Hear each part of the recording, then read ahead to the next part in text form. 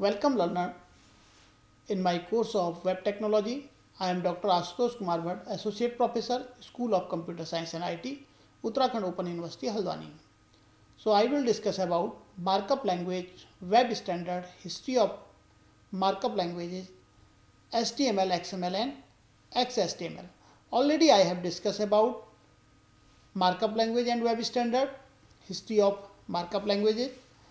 So now I will discuss how to write program in HTML, XML, introduction of XML as well as XHTML. So the learning objective of this lecture creating and executing HTML, XML and XHTML file and XML tree structure. Now creating HTML document.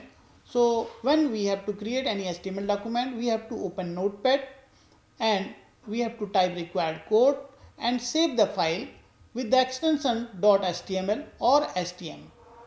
So uh, these are the different notepad.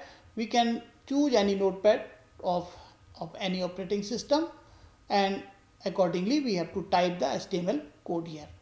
And then suppose this is the code and we have to type this code on notepad and after that we will execute it. So you can see this example where the HTML file is divided into two parts. So basically we use the tags HTML or and slash HTML or inside HTML and slash HTML we have head portion, we have body portion. In head portion we have the heading and in the body portion we have two headings as well as one paragraph. In head portion we will have title. So transcription studio it will be displayed on the title area. So see the HTML, HTML, the file of HTML always be the name as a index.html. So the home page means home page of any website always be the same name named as index.html and the file will be encapsulated between HTML and slash HTML. So this is hypertext markup language. Now these are the two tags HTML and slash HTML. So first tag is HTML and last tag is slash HTML.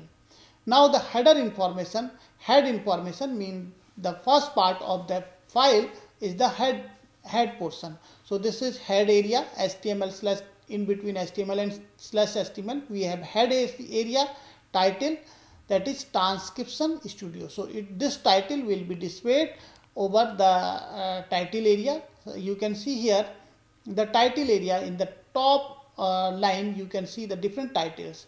So accordingly these title will be displayed as we mentioned on the title tag. Now uh, the page title it will be displayed on title area. So this is the uh, this is the snapshot of any website now, uh, creating text in HTML. So, the another part of the HTML file that is body part. See here. So, the first part is the head part and the second part is the body part. We can uh, directly start with the body part also. Uh, head part we can skip this head part. Suppose we don't have to write any heading on title bar then we will uh, remove this portion head area. We will directly start by the body area. So, uh, this is optional and see the body and slash body. So all the text that appear on the page must be encapsulated within the body tag. So this is very important area body area and we will write the uh, all the information in the body area. And finally in the bottom line you can see this is the example of comment. So suppose we have to write any comment then we will use less than exclamation mark and then double dash and finally double dash and greater than sign. So in between these this line we can write multiple uh, multiple comment line uh, on our web page.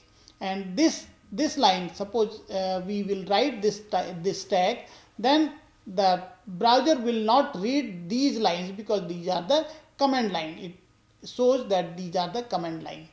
Now we have some more text formatting tags like small it will display the smaller text sub it will display the subscript text.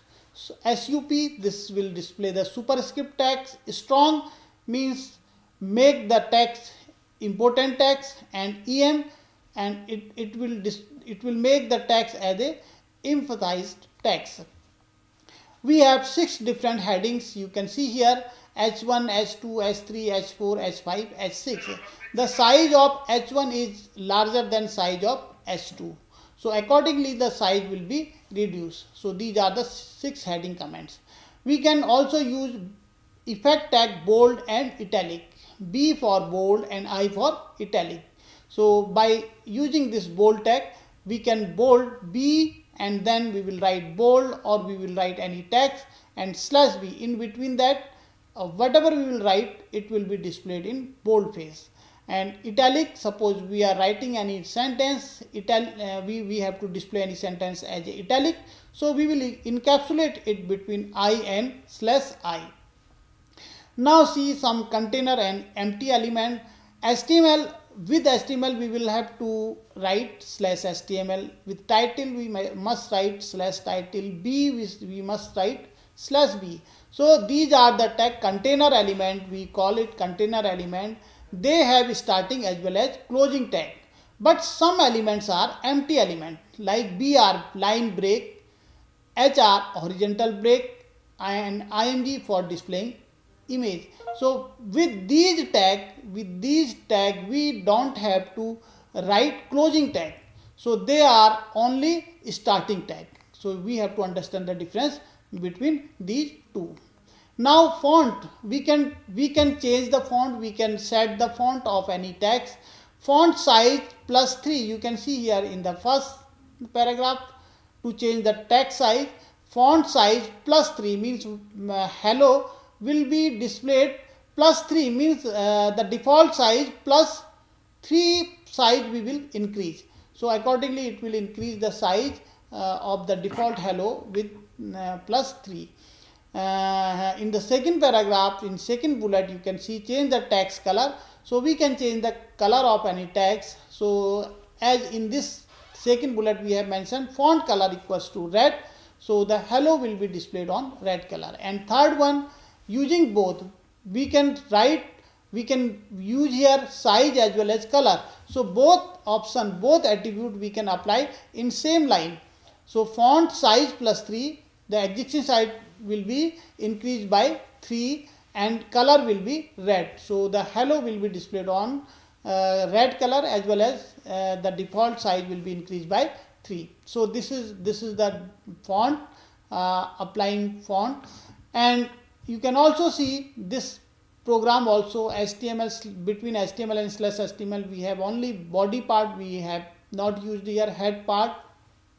H1 in heading first heading we have style that is font family Verdana is the font family and uh, in this font family we will display the text and in second para paragraph for paragraph P style font family equals to courier and Uttarakhand Open University will be displayed with this font family. So we can change the font family also. We can apply Arial, Arial Narrow, Arial Black, Verdana, Courier. So we have different different font family. So we can apply any font family, any style of font family. So this is the uh, statement. These are the statement for applying this.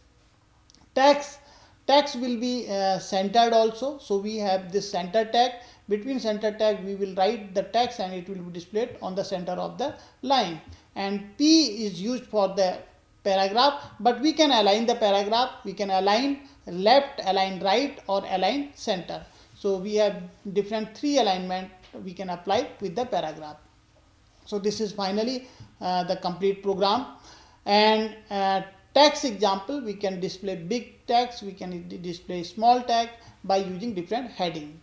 Body color we can also change. Suppose we have uh, a page so its body color we can change. Suppose we have written here bg color yellow. The page will be displayed in the yellow color. So this is bg color is a attribute and body is a tag. So uh, this uh, body and closing tag also be used for the body tag. Now see uh, the list. We can also display the items elements in the list wise.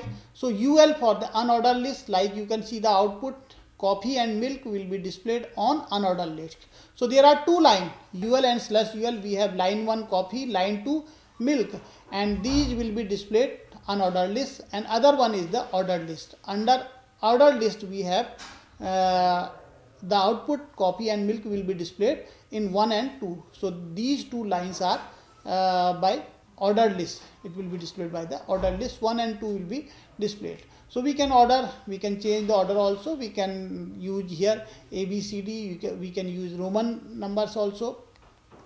So image format, we can use different image format on HTML like GIF, like JPEG, BMP. So different image format we can use with the uh, HTML file.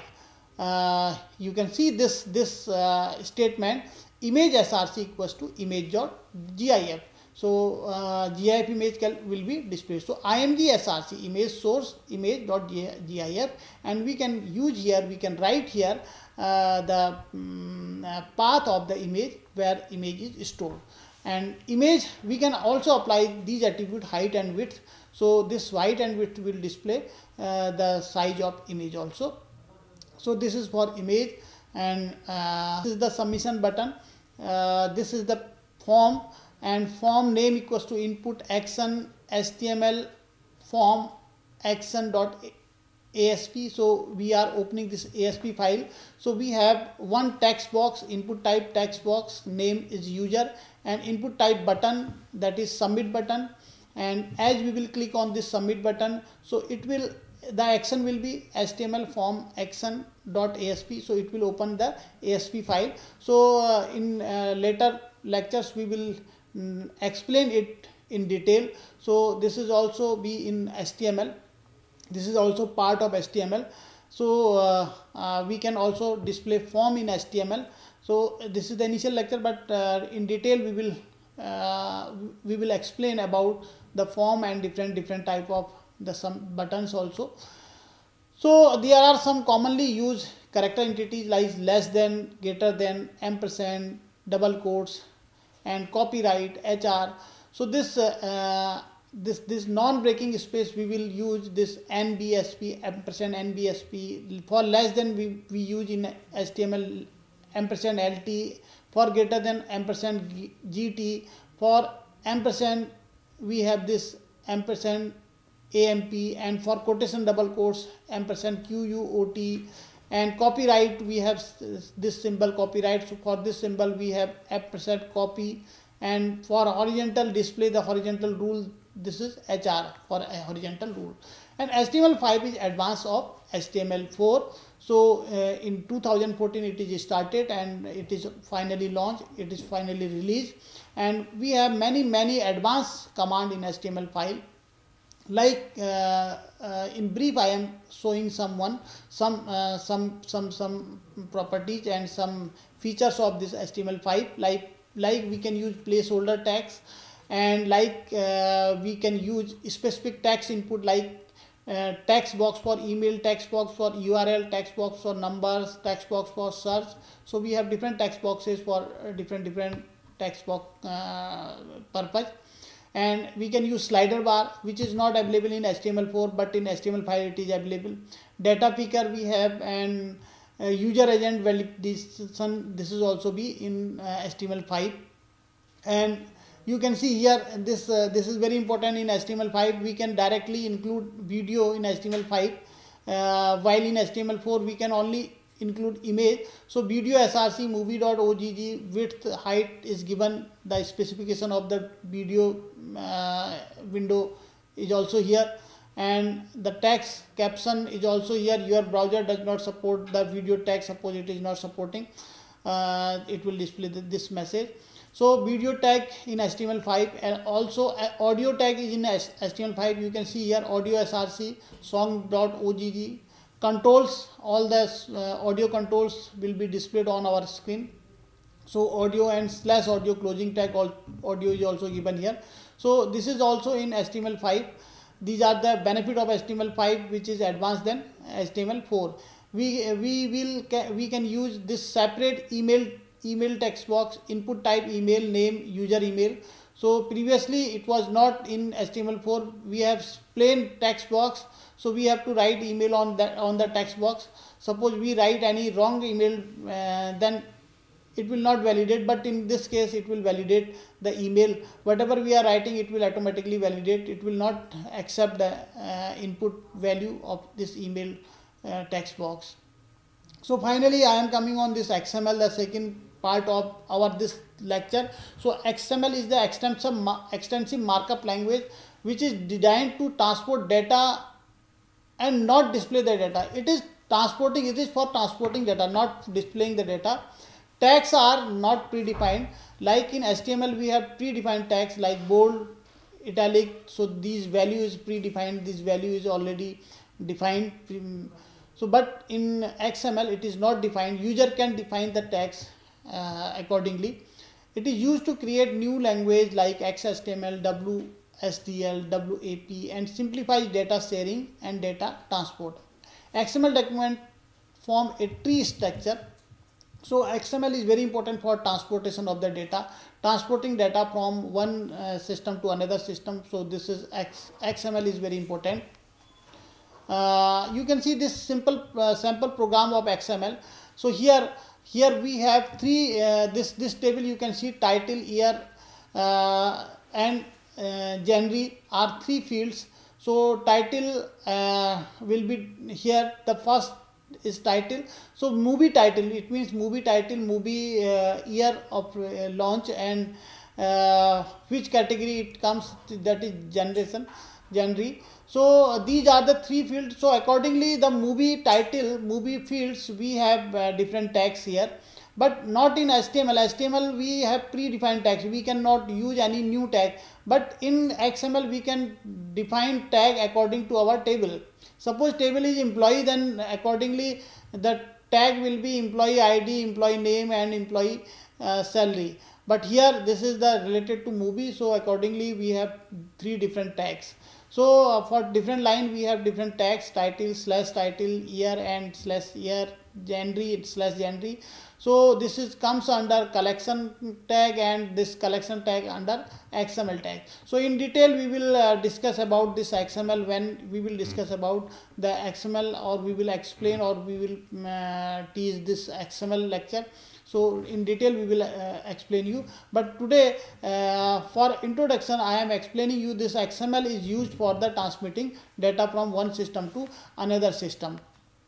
And XHTML finally uh, in the last XHTML uh, extensible hypertext markup language is more standardized version of the HTML. It is more standardized version of HTML. You have to understand this fact. It is standard markup language for designing web application. This combines the feature of HTML and XML.